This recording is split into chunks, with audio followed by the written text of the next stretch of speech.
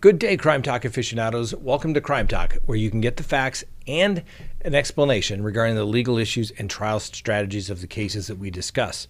Now, we have an excellent show planned for you today. We have some new orders from Judge Boyce in the Lori Vallow matter.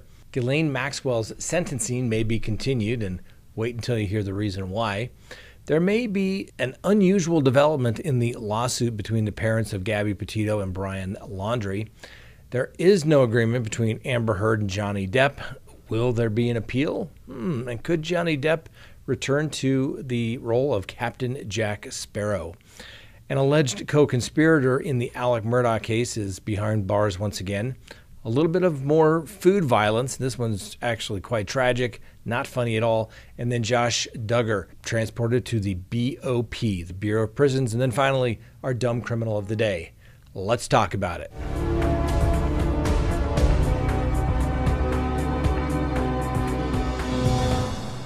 All right, before we get to today's docket, let's hear a word from today's sponsor, Magic Mind. So, lately I've been trying to cut back on my Red Bull intake because I feel like lately it's been a little more difficult to fall asleep. And if you've been a fan for a while, you know that I also don't drink coffee. So, I've been trying these little bottles of Magic Mind. So, if you're like me and you don't like the crashes and jitters that come from coffee and Red Bull, then you have to try out my new favorite caffeine hack, Magic Mind. I love that they are small and easy to transport. I usually drink them on the way to work in the morning, and by the time I'm at my desk, I am ready to take on whatever craziness the world is going to throw at me. Magic Mind also has ashwagandha in it, which works to decrease stress, which certainly I can use a little of. And I'm looking into stocking the fridge here with Magic Mind so that my whole team can feel the benefits. So they gave me a great discount code. All you have to do is go to magicmind.co and use the code CT40, that's short for Crime Talk 40, for 40% off your first subscription. Or if you aren't into that, you can get 20% off your first purchase. I'll leave the notes in the show link. And the best part is that they have a money back guarantee because you know it's always about the money. Go to www.magicmind.co backslash crime talk discount code CT40. Let's go ahead and open the docket for June 27th, 2022. Now, we have some new orders from Judge Boyce in the Lori Vallow matter. Now, Judge Boyce formally issued an order regarding the change of venue for Lori Vallow. As you may recall, these are separate cases within the judicial system, and, well, the court has to make separate rulings because although the cases have been joined legally, technically, uh, the court still needs to do some procedural things. So we'll continue. The court provided some procedural history uh, by stating that on May 24th, 2021, a Fremont County grand jury returned an indictment charging defendants Chad Guy Daybell and Lori Vallow uh, with multiple crimes, including conspiracy to commit first degree murder and first degree murder. On May 27th of 2021, Judge Boyce entered an order staying the defendant's case, Lori Vallow's, uh, because of incompetency issues. And pursuant to the statute and uh, on the basis that the defendant had been deemed incompetent and subsequently ordered her to receive restoration treatment and care, uh, that was on June 28. Mark Means, the previous counsel for Ms. Vallow, uh, filed a motion to transfer trial but pursuant to the stay of the case, the motion was never noticed for an actual hearing. So on August 6th of 2021, Judge Boyce entered an order clarifying that for purposes of conducting a jury trial, the case of Idaho v. Chad Daybell and cited the case number and the case of State of Idaho versus Lori Noreen Vallow are currently joined. So during this time, the case was stayed for Lori Vallow. On July 7th of 2021, alleged co-conspirator Chad Guy Daybell, through his attorney, filed a motion for change of venue, which was argued on October 5th, 2021. On October 8th, 2021, the court issued a memorandum decision and order granting the motion, recommending a transfer of the trial to Ada County. And October 21st, 2021, the Idaho Supreme Court entered an order into Chad Daybell's case number, ordering the case to be transferred for purposes of trial only. Then on April 11th of 2022, this court entered an order lifting the stay of the case after determining that the defendant, Lori Noreen Vallow, had been restored to competency. And then on October 19th of 2022, the defendant was arraigned on the charge filed in the indictment entered on May 25th of 2021. Now, during that April 19th, 2022 hearing in Fremont County, the state of Idaho's motion to reconsider the court's prior decision to transfer the trial from Fremont County to Ada County, uh, James Archibald, in his capacity as appointed counsel for the defendant, Lori Vallow, was asked to advise the court regarding the previously filed motion to transfer and to clarify the defendant's position on the transfer of the trial. Mr. Archibald stated to the court and represented the defense stated her express position was to have the jury selection and jury trial held in Ada County. Now, accordingly, then the defendant renewed her motion to transfer trial and joined in the objection of the state's motion to reconsider uh, the issue. Uh, Judge Boyce stated this issue was previously determined on the merits after a full hearing in the companion case, which was Chad Daybell's. And as a companion case involving co conspirators, this court found that the issues previously determined on the issue of transfer of the trial mirror those in this case, and the court herein adopts the previous conclusions as they relate to this case. Uh, Judge Boyce states that the order of this court in this case is to transfer the trial for Lori Vallow to the um, to the Supreme Court, and pursuant to the applicable rules, this court recommends that Judge Boyce continue his assignment over the case and be tried together in Ada County for both cases. Now, as I stated, Judge Boyce requested the Idaho Supreme Court to enter that order uh, so that the trial be transferred for Lori Vallow uh, for the reasons stated above. Now, the other order memorialized the uh, court's trial date schedule. So this trial is supposed to begin for Lori Vallow and Chad Daybell, and they have blocked out beginning on January 9th of 2023 and going through March 17th of 2023 to complete it. Now, obviously, jury selection may take a while, but if they do it correctly and efficiently, maybe a week at most, I think that can get done. So, two months uh, to try this case, two and a half months really by the time you uh, take out the jury selection process. The court also ordered that basically Lori Vallow has to file any motions and they have to be filed in a timely fashion so that they can be heard on the motions hearing date of November 9th. Now, that date is also going to be a pretrial readiness conference. And on the day of that pretrial readiness conference, both parties have to be able to inform the court whether this case is going to trial, whether they're ready or not, or whether there's going to be another request for a continuance. The court also stated in this somewhat standard order that all plea agreements should be reduced to writing and obviously signed by all the attorneys and the defendant if there's going to be a plea agreement and written notice has to be given 90 days in advance of trial if a party intends to raise the issue of mental condition and or expert witnesses concerning such issues of mental capacity. Plan on that notice being given given the fact that Lori Vallow was deemed to be incompetent. I'm sure there were experts probably say that she's been in the state of where she wasn't competent and can truly appreciate what's taking place, which goes to the requisite mental state, probably dating back years. So we'll see. The court also says if there's going to be any motions to continue, they have to state the reason, um, and it must be in writing and accompanied by an order to vacate the trial and reset. Hopefully, that will not be an issue. This case has gone on too long. It needs to be tried. And if there's going to be a request by the defense, you have to be prepared to waive speedy trial. There's no, I think that's already an issue in this case. And jury instructions have to be submitted by November 9th as well. Now, the last thing that the court does in this kind of general order states that the uh, presiding judge intends to use a panel of judges as alternates to preside at trial or any other hearings or proceedings. And it states that notice is given that there are multiple defendants. The presiding judge must determine whether the co defendants have a sufficient interest uh, in common to be required to join any disqualification without, the co- without cause, or whether they have an adverse interest. As you may recall, apparently there's kind of a unique rule. I've never seen it before, but there in Idaho, basically, if you don't like the judge, you can basically disqualify them without cause for any reason. Um, I don't think that Lori Vallow has previously already done that. I'd have to go back and double check, and I wasn't able to do that beforehand. But um, I don't think that'll take place. but you never know. This thing, there's always something that pops up, and it always seems to delay the trial, or we're going to have a hearing where the rest of the public cannot see it. All right, before we get to Ghislaine Maxwell, remember, like the video if you do, subscribe if you have not, leave me a comment below, and remember, if you can't watch us, you can always listen to us anytime by downloading us on your favorite podcasting app. Okay, Ghislaine Maxwell, her sentencing may be continued. As you know, her sentencing is set for tomorrow. And as you may also recall, Ghislaine Maxwell was convicted back on December 29th of last year of sex trafficking related charges filed against her in Manhattan Federal District Court after she was alleged and the jury found beyond a reasonable doubt that she recruited girls, some as young as 14, for that guy named Jeff. Ghislaine Maxwell could be sentenced to the maximum penalty of up to 55 years in prison.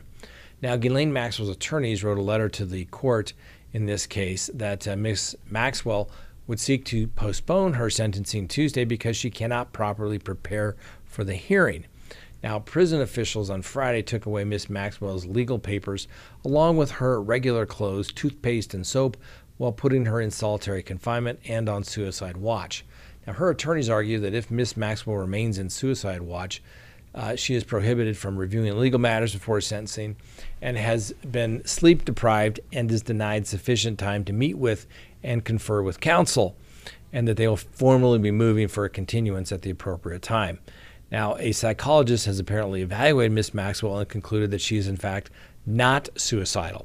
Federal prosecutors responded saying that Miss Maxwell has been put on a suicide watch partly because she has reported to the jail's administration and facility staff that they were potentially threatening her safety, inmates and the staff apparently. The lockup staff put her on suicide watch to remove her from the facility's regular population while it investigated Miss Maxwell's claims, also because she's a convicted now sex offender and they're generally at a higher risk of self harm. Miss Maxwell's lawyers also asked the judge to bar four accusers from providing victim impact statements at the sentencing hearing and um, it was tentatively scheduled for Tuesday, arguing that they were adults uh, when the alleged encounters occurred and therefore did not have the right to speak at the proceedings. Hmm. Well, what will probably happen? Well, the court's not going to tell the marshals how to run their detention center and who goes into suicide watch. Frankly, I'm not really sure what else Miss Maxwell needs to review and prepare for prior to sentencing. The pre sentence investigation report will have been completed. The attorneys would have submitted their objections to the report uh, and the calculations under the uh, federal sentencing guidelines, although advisory, are a starting point, um, which we've discussed in previous videos. And there will be an appeal, and Miss Maxwell should say nothing at her sentencing as anything she says can and will be used against her. This hearing should simply go forward. You can't have it both ways. Miss Maxwell of saying, I want to uh, be protected, so to speak, from general population, but at the same time, uh, say that you can't prepare for court. I don't know what else you need to be involved in. The case is going to be appealed. You simply sit there.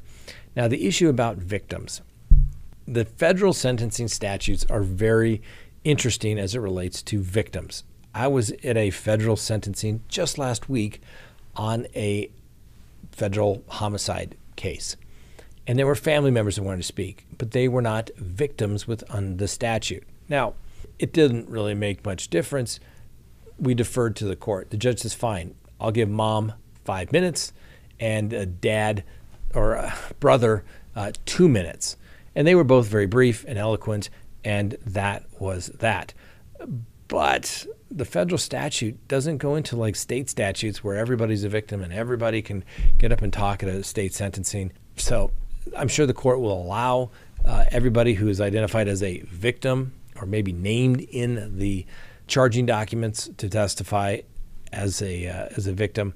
Uh, but I wouldn't get too up, worked up about that at all. But sometimes when you got nothing, you got to make a record like I said, I still think it's interesting in cases like this where Ghislaine Maxwell is the only one that has ever been charged, other than that guy named Jeff.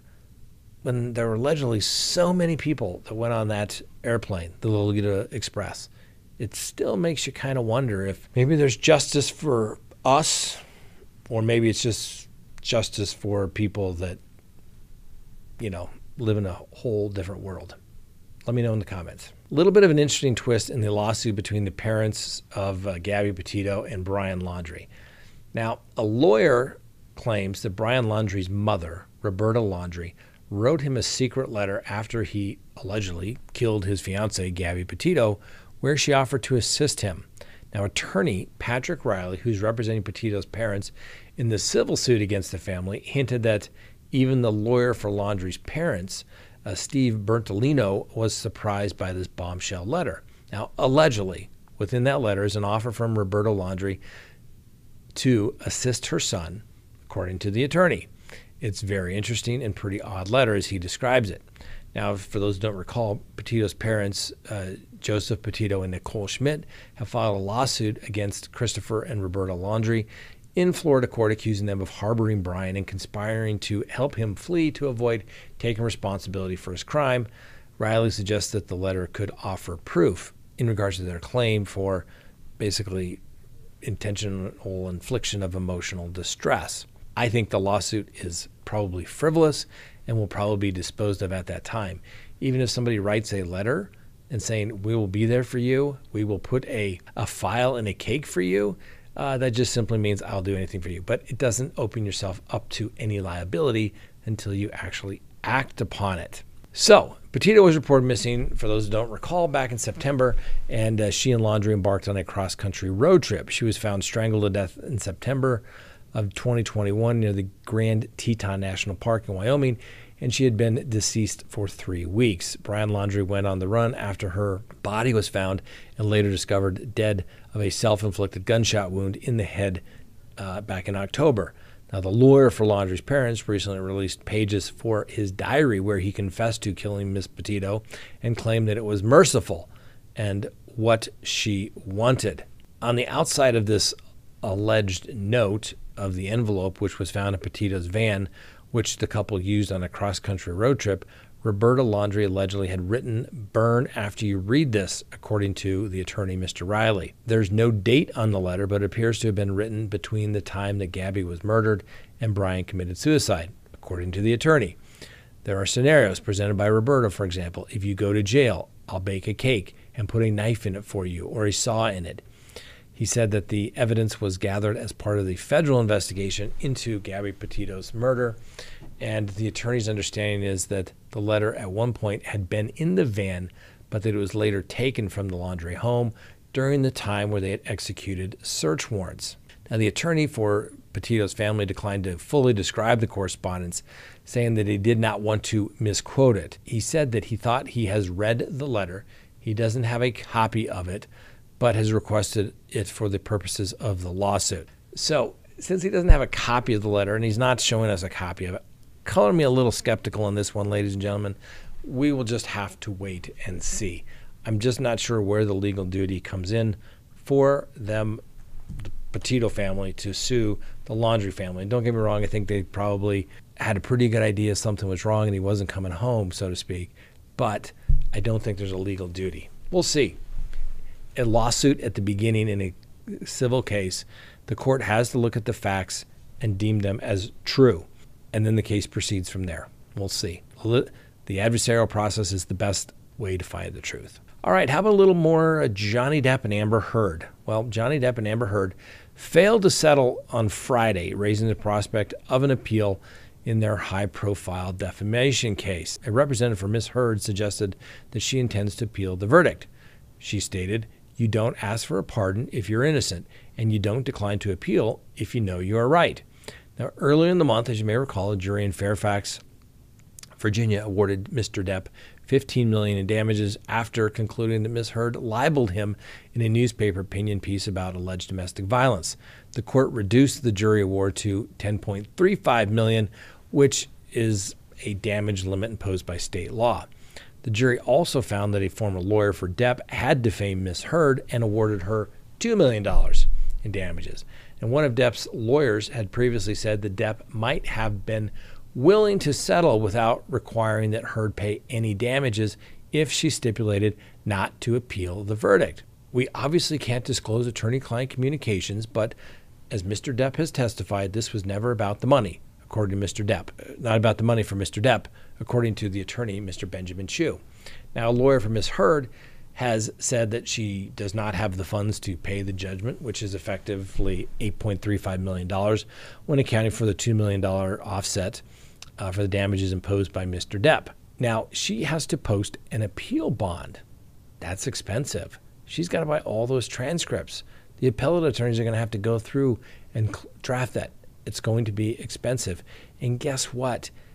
Even if you're going to post the appeal bond, which says, yes, I'm serious about appealing this case, the interest accrues on this, which is usually set by a statutory rate of anywhere between 6.5 and 8 percent uh, interest, and it goes back until the date of the alleged libelous act, as it continues until it's paid. So things are getting expensive. We'll see how serious um, Miss Heard is about this.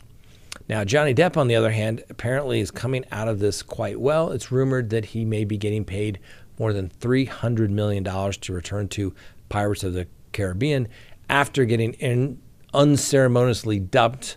Johnny Depp is rumored to be getting paid more than $300 million to return to the Pirates of the Caribbean after being unceremoniously dumped uh, from the uh, franchise back in 2018 amid the allegations of abuse leveled by Miss Heard.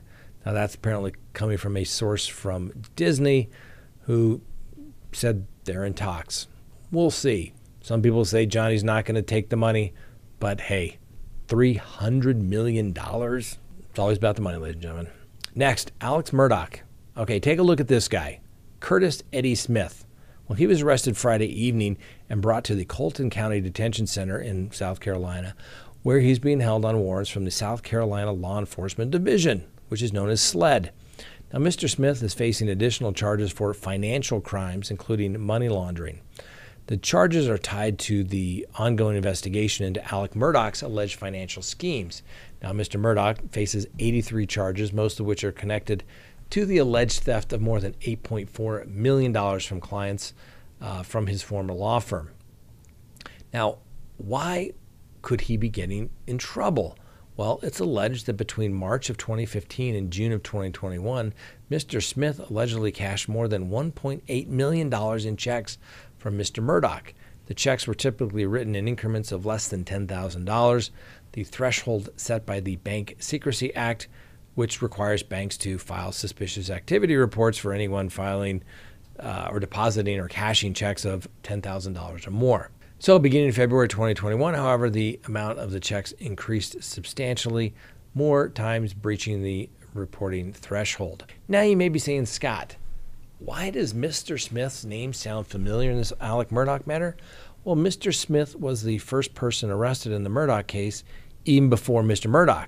That was over Labor Day weekend when Mr. Murdaugh called 911 claiming to be have been shot by a white man in a passing vehicle when he was stopping to fix a flat tire on the side of a road. But it quickly became apparent that Murdaugh's story had some holes in it. And then on September 14th, Smith was arrested after Murdaugh and his attorneys identified him as the person Murdaugh hired to kill him. Murdaugh's alleged plan was to stage a murder so that his surviving son Buster could cash in on the $10 million insurance policy. Now, according to the attorneys for Mr. Murdaugh, a longtime personal injury attorney, didn't realize his policy's suicide exclusion clause had expired. So immediately after the shooting, Mr. Murdaugh told the uh, public that he had a 20 year uh, addiction to opioids, and his attorneys repeatedly identified Mr. Smith as his longtime drug dealer, which Mr. Smith has denied publicly. Now, Mr. Smith was charged with assisted suicide, assault, and battery of a high and aggravated nature pointing and presenting a firearm, insurance fraud, and conspiracy to commit insurance fraud in connection with that shooting. He's also facing two unrelated drug charges distribution of methamphetamine and possession of marijuana. After the shooting, Mr. Smith went on national TV to deny that he tried to kill Mr. Murdaugh and told uh, everyone publicly that he is trying to wrestle the gun away from Mr. Murdaugh when it went off. A preliminary hearing has not yet been set on Mr. Smith's case. Josh Duggar. That's right. Well, he has been whisked off from the Washington County Detention Center there in Arkansas, and he is on his way to the Bureau of Prisons. That's right, BOP. Now, Duggar, a former reality TV star, was found guilty on two child pornography charges in December of 2021 and was sentenced to 151 months in federal prison on May 25th in the Western District of Arkansas in their federal court in Fayetteville.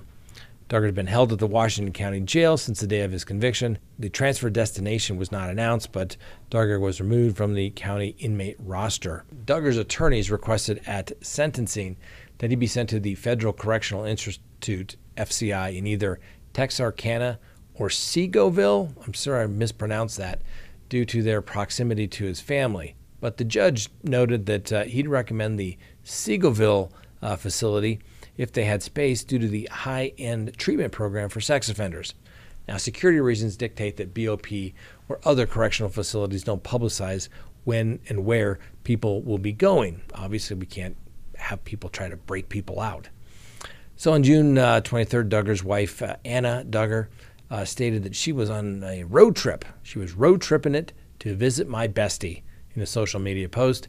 She also noted that it was the 14th anniversary of accepting Duggar's marriage proposal. You just can't separate true love, ladies and gentlemen. You just can't separate true love. All right, more food violence. A customer at the Subway store in Atlanta was uh, shot dead, um, and one female worker injured after a customer complained that there was too much mayonnaise put on their sandwich. The shooting took place at a Circle K gas station on Northside Drive at about 6:30 p.m. on Sunday. The two victims, both women, were found after police arrived on the scene.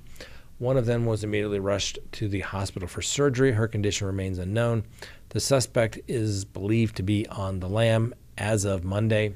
No identities of either the suspect or of the victims have been released, and it's unclear if the shooter is a man or a woman. The store owner said that the son of the employee who had been gunned down was inside the store at the time of the shooting. And I've never heard of the hold the mayo defense. Okay. It's not a valid defense. You can't shoot people, ladies and gentlemen, because you don't like the way your sandwich is prepared, whether they put too much mayo on. Are you kidding me? I don't know who did this. We'll give them the presumption of innocence, but really, you just cannot do this over a sandwich. Not even the sandwich, the condiments that were going on the sandwich. Unbelievable. And then finally, our dumb criminal of the day an Alabama man wearing a t shirt proclaiming, I'm too good for drugs. He was arrested for possession of methamphetamines and some narcotic paraphernalia.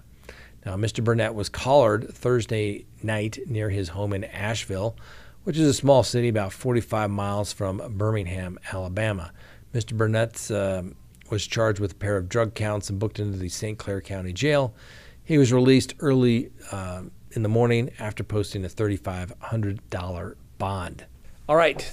Hope you enjoyed the show, ladies and gentlemen. That was a big docket.